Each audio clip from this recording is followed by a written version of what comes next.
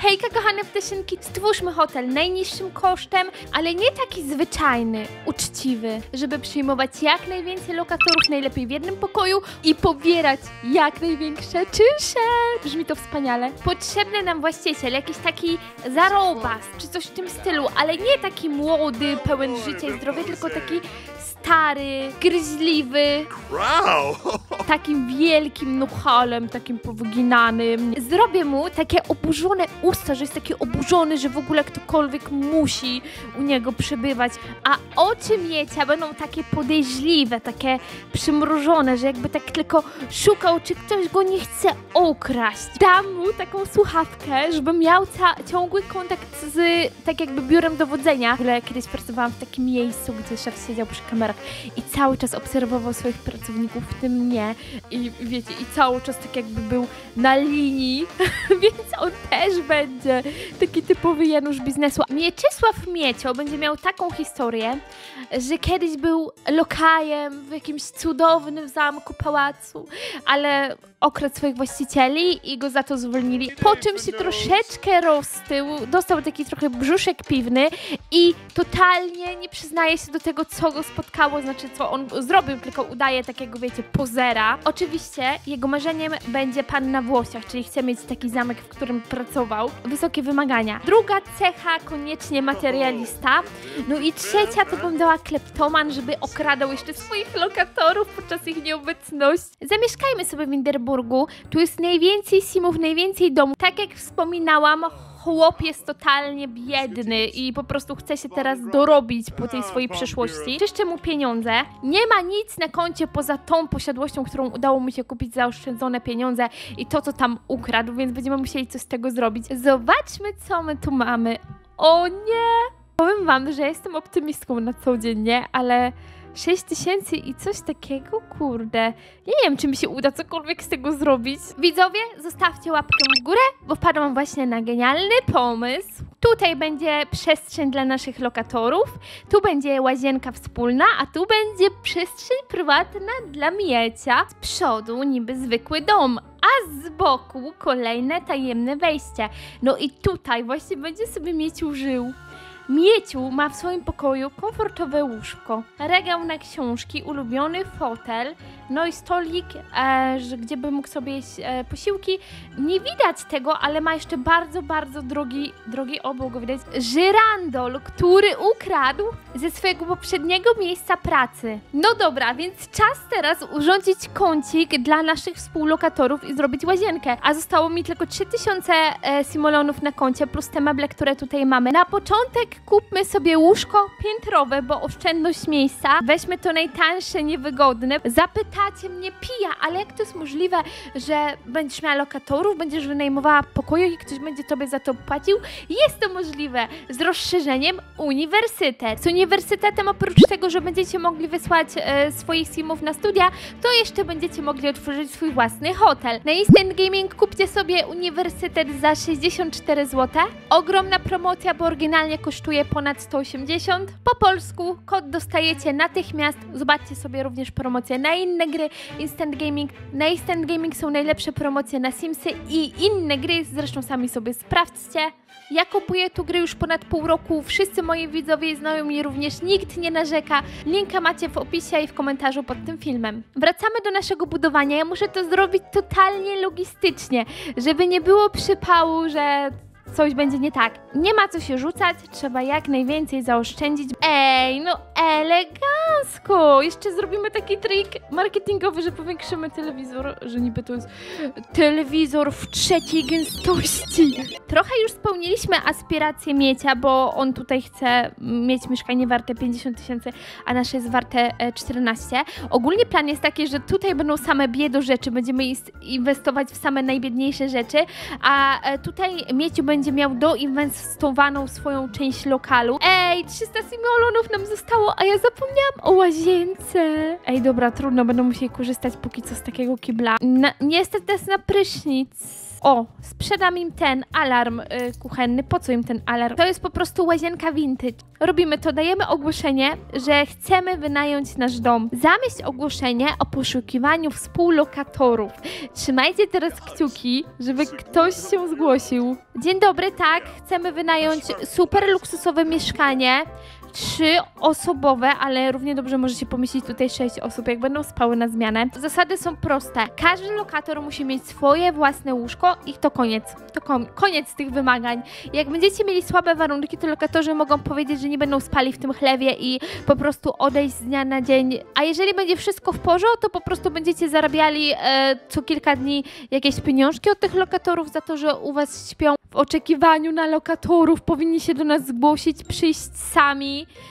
i po prostu zapukać tutaj i e, przyjść oglądać mieszkanie. Ej, ktoś do nas przyszedł, sąsiadka!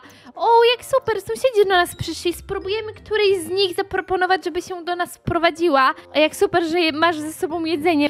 Ej, tym ciastem będziemy e, częstowali naszych potencjalnych lokatorów. Kazałam Miecowi schować do lodówki, nie? Oni przynieśli ciasto, nie? On schował, oni takie, aha. A ja mówię, co to za chłop idzie? A to jest Mortimer Ćwir. Ej, widzicie, jej zmieniło rodzinę Ćwirów? Mieciowi się bardzo ta simka spodobała i my możemy w ogóle prosić obcego sima, żeby został naszym współlokatorem. Poproś, by została współlokatorką, ale jak będą mieli dom, to powiedzą, że nie, wybacz, ale moi domownicy potrzebują mnie tam, gdzie mam dom. No widzicie, i tak to jest. Iwa podoba się bardzo. Ej, ona ma nazwisko jak pizza. Iwa Capricciosaco. Super! Ej, zamówmy jej pizzę. On jaki jest napalony teraz, flirciarski. Dobra, ej, wydajmy nasze ostatnie oszczędności i zamówmy jej pizzę, nie? Nie wiem, czy będzie nas stać. Ej, pięć simoleonów nam brakuje, żeby kupić jakąkolwiek. Kurczę, będę musiała coś sprzedać. Ej, wiem, co sprzedam. Sprzedam jakiegoś kwiatka. Ale laska jest nim zachwycona. Flirtują ze sobą. Ona jest taka... Uuu, jaki on jest bogaty. On wynajmuje tutaj dom, mieszkanie. Pewnie mieszka w jakimś luksusowym apartamencie, bo inaczej nie miałby tych złotych korali. On mieszka za ścianą w jednym pokoju e, z półką na książki położoną na pustakach. Już sobie dziewuchę znalazł, ogarnięty typ. Jaki nos mu zrobiłam, przesadziłam trochę z tym nosem. O, pizza przyszła. Proszę, oto pana pizza. Dzięki napiwku nie będzie. Postanowiłam spróbować szczęścia i zapytam Riko, czy ma może e, mieszkanie.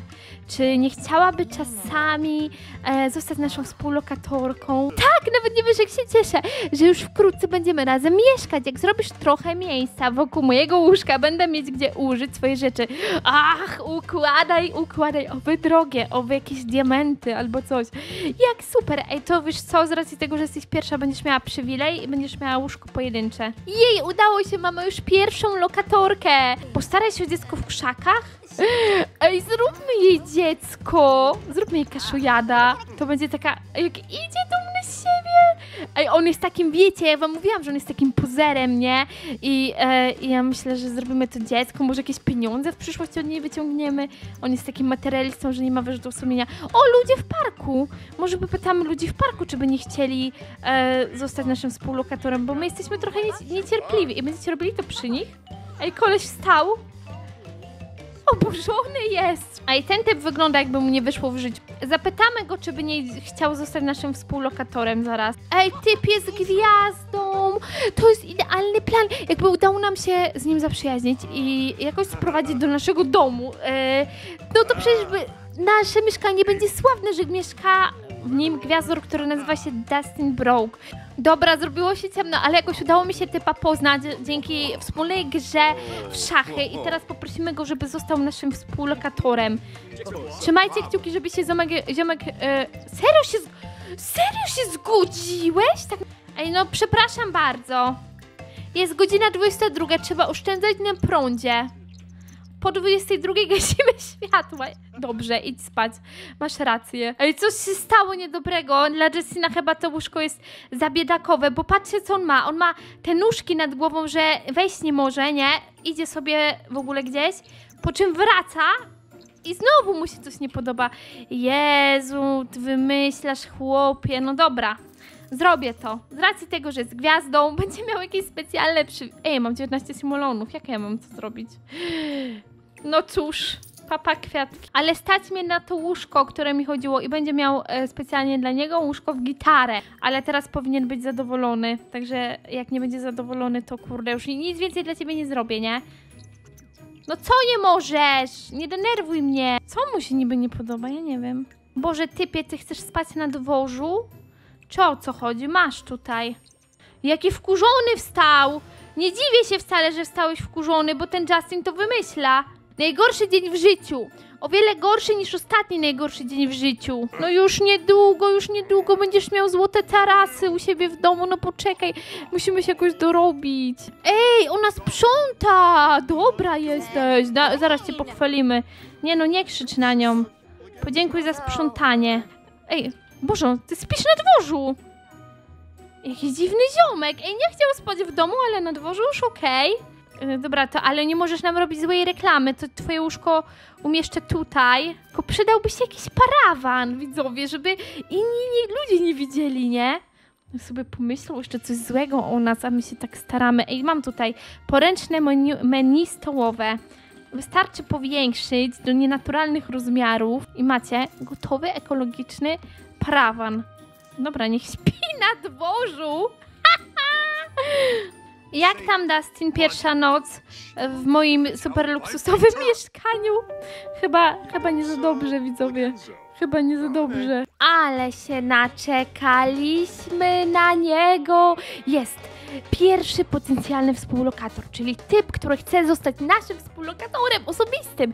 E, I pojawiły się również przedmioty. W ogóle wystarczyło zresetować grę. Nagle na półce pojawiły się jakieś przedmiocichy, które możemy sobie zagarnąć. Jakiś robocik, w ogóle przynieśli nawet e, kurczaka pieczonego nam do chaty. No, po prostu idealny scenariusz. Mieciu, biegnij do domu, pieniążki na ciebie czekają. Witam pana, to pan chce zostać nowym współlokatorem tutaj u nas w naszym luksusowym mieszkaniu? No nie wiem. Jestem w sumie trochę biedny, bo mam podartą koszulkę. Mieczysław dowiedział się, że Ukopana po... Co to za imię? Ukulpanipop? Przecież nie będę go tak nazywała! Od dziś nazywa się narkoman. Pracuje jako asystent zmywacza naczyń. On nawet nie pracuje na zmywaku, on jest asystentem zmywacza naczyń, czajcie? Dobra, tak jak wspominałam, no widać, że nawet butów nie ma. Ej, dobra, ile to kosztuje? 70 simolonów. Zestaw do gorącej czekolady 70 simolonów. Ej, już sobie sami zabraliśmy trochę pieniążków za czynsz. Teraz pójdziemy do naszego prywatnego pokoju i położę to na ziemi. O, mogę tak to sprzedać. 140 simulonów. Ej, już mamy pół tysiąca zarobionego, a to ile? 150. Ej, przyszedł jakiś koleś, rozmawia z nami o pieniądzach. Potencjalny współlokator przyszedł i mówi, że no ja bym chciał tutaj, ale ja za bardzo nie mam hajsu. Uciekłem spod ołtarza, mam jakąś różę i różowe paznokcie? Przyjmujemy, pasujesz nam. Ważne, że masz pracę, że nie jesteś bezrobotny. Tak, nawet nie wiesz jak się cieszę. Rozpakuję swój życzek, zrobisz mi miejsce. Proszę bardzo. To jest twoje... Ej, nie wierzę w to, mam już pięciu lokatorów! Dobra, podkładam to jedzenie, żeby na potem mieli, bo się zepsuje przecież. A ten Dustin śpi pod gołym niebem, nie ma nawet dachu. Dobra, póki co się nie martwię, bo na deszcz się nie zapowiada. Będziemy się martwić, jak zacznie padać. Kurde, mamy problem, bo on nie może się dostać do swojego łóżka. Paka nam może zrezygnować z pokoju. Nie, on nie może. Ja nie wiem, o co chodzi. Tu coś jest popsute z tym łóżkiem. Dobra, kurde, będzie spał na dworze obok Justina, póki czegoś nie wymyśla. A czy teraz możesz się dostać do swojego łóżka? Czy po prostu to łóżko... Nie, no może, ty, jak się przeteleportował? A Justin się obudził, mówi, kurde, co to jest? Nawet na dworzu nie mam prywatności. Wychodzę. Nie twierdzę, że nie ma lepszych współlokatorów ode mnie, ale Mieczysław jest 100 razy gorszy. Uuu, przypał! Ej, chyba trochę nasi współlokatorzy zaczynają e, rozpracowywać Mieczysława, że to jest taki dusi grosz, nie? Biednych studentów hoduje na dworzu, nie? Justin się budzi z tego i płacze, budzi się i płacze z zimna. Nie no, trzeba coś z tym zrobić, ale zapłaćcie nam najpierw za czynsz. Bo my nie mamy czym zainwestować, przecież nie sprzedam rzeczy Mieczysława, żeby was udobruchać, no. O, wszyscy twoi współlokatorzy zapłacili czynsz, otrzymujesz 42 od każdego z nich, w sumie 210. Tak mało? Co my mamy za to kupić? Ej, no chyba wy żartujecie. Ej, i cały czas nam zostawiają obraźliwe kartki. No, denerwuje mnie to. Gdzie w butach na gipski jedwab? Przecież to jakiś kolejny potencjalny współlokator. Ile my ich już będziemy mieli? To będzie ósmy. Kupię jeszcze jedno menu i powiększę tak na, na maksa. I tak trochę pozasłaniam ich, żeby nie było przypału, nie? Niech nikt nie widzi, co tu się dzieje. Ale jazda. Będą wszyscy spać na dworzu. O kurde. O kurde, katastrofę mamy. Popsuło się wiele rzeczy równocześnie. Typ nam siedzi w tym, w prysznicu. Dobra, dobra, trudno. Trzeba to zrobić. Mieczysław przebrał się w specjalne wdzianko i teraz będzie naprawiał e, wszystko i sprzątał, kurczę, trudno. A wiecie co się stało? Jednak niestety mój genialny plan nie powiódł się, bo nie można mieć więcej współlokatorów. Więcej niż siedmiu nie można mieć. O Jezu, ale syf mamy, no kurde, wszystko poza kontrolą. A nie stać nas nawet, nie stać nas nawet na odkurzacz. Jakoś to funkcjonuje, nie? Pomimo tego, że to jest mało miejsca, siedzą sobie w domu. A jak e, ktoś chce iść spać, to idzie sobie do swojego łóżka. Ja, ile ludu tutaj jest w naszej chacie. Naprawdę, to jest masakra. Jak słodko śpią moje aniołki tu na dworzu. Tutaj niektórzy w domu w ogóle brudno, bo nie stać nas na odkurzacz. Ja czekam na ten czynsz jak Bóg na dobrą duszę. No czekam i czekam. Powinni mi za jakiś czas zapłacić. Wow, urodziło się dziecko. Witaj Mieczysław. Tu Ewa chce cię zawiadomić, że właśnie urodził mi się Ignacy. Czekajcie. Nie, jest Ignacy. Nawet spokojnie pasuje do Mieczysława i Avi. No dobra, to czy jesteśmy ojcem, widzowie. A cały czas to, co robię, to proszę te kurzyki o pieniądze, bo trzeba koniecznie, trzeba po prostu wymienić ten kibel, bo on się psuje kilka razy dziennie. Nie! Podpalił się Justin, trzeba go szybko ugasić. Musisz go szybko ugasić. Nie no, musimy wymienić ten kibel, widzowie. Zdobyte odczucie. Zawdzięczam, zawdzięczam ci życie. Dobra, weź ugaś to. Żeby nie było przypału wtedy, że podpali nam się jeszcze kuchnia, czy coś w tym stylu. Wszyscy twoi współlokatorzy zapłacili czynsz, otrzymujesz 29 każdego z nich, w sumie trz- 230... Nie! Widzowie, tyle męczenia się, tyle wszystkiego i tylko 200 simolonów za cały tydzień. No nie, no dlaczego? Stawiam od dzisiaj na jakość. Zmieniamy się. Utarli nam nosa. Po pierwsze, kupię w miarę dobre łóżka. No, nie będą jakieś super najlepsze, ale będą w miarę dobre. Kupiłam również odkurzacz i jakby przestrzeń miecia. Bardzo, ale to bardzo e, skró- skróciłam w tym momencie. Zabieram mu stół, bo i tak nigdy go nie używał. I właśnie nastąpiła wielka zmiana oraz ocieplenie naszego wizerunku. Oprowadzę was na szybko. Przed domem pojawił się kosz na śmieci. Pojawiła się ławka, radio i jakieś lampy. Wejdźmy do środka. Jak wy wchodzimy, to tu jest kącik rozrywkowy. Dałam im półkę z pokoju. Posprzedawałam wszystkie rzeczy, żeby kupić stół i lepsze łóżka. E, łazienka, kibel, nowoczesny prysznic. Ja będę się starała ogarniać, żeby oni przez ten tydzień mieli tutaj dobrze posprzątane, wszystko naprawione. Będę ich chwalić, jak będą coś fajnego robić.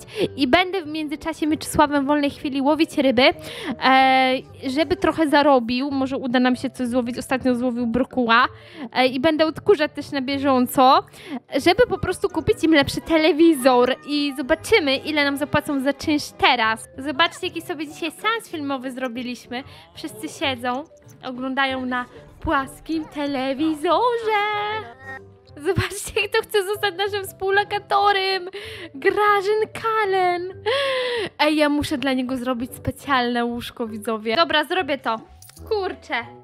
Tak się zmienił Miecio. No i jeszcze jedna rzecz, no odblokowujemy widzowie, odblokowujemy ten pokój. Nie uwierzycie, pięciu spośród twoich współlokatorów zapłaciło po 52 simulony, w sumie 260. Następujący współlokatorzy jeszcze nie zapłacili. Kamil Piękniś. Zapytaj o czynsz. Kurde, co się dzieje? Dlaczego tak mało? 50 simulonów za jednego współlokatora? Kiedy tak bardzo poprawiły się warunki życia? Wiecie co, okazuje się, że ten biznes się w ogóle nie opłaca, nie?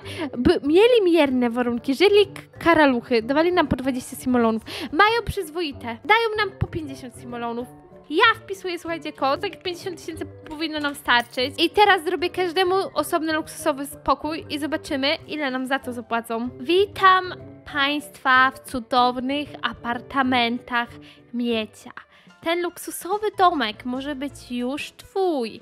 Wystarczy, że będziesz płacił wysoki czynsz. Domek posiada szafki do Twojej dyspozycji, osobistą lodówkę, luksusowe łóżko z baldachimem, lustro. Po, na podłodze są położone prawdziwe marmury, a ściany zdobią drogocenne obrazy. W łazience masz prywatną wannę, a więc ten domek zajmuje Grażyn. E, Ten domek e, zajmuje Celtia, a ten domek dałam Oldze. E, Reszcie podziękowałam. Jeden taki domek kosztuje ponad 15 tysięcy, a tu mają tylko kuchnię, jakby chcieli tak mocno, nie?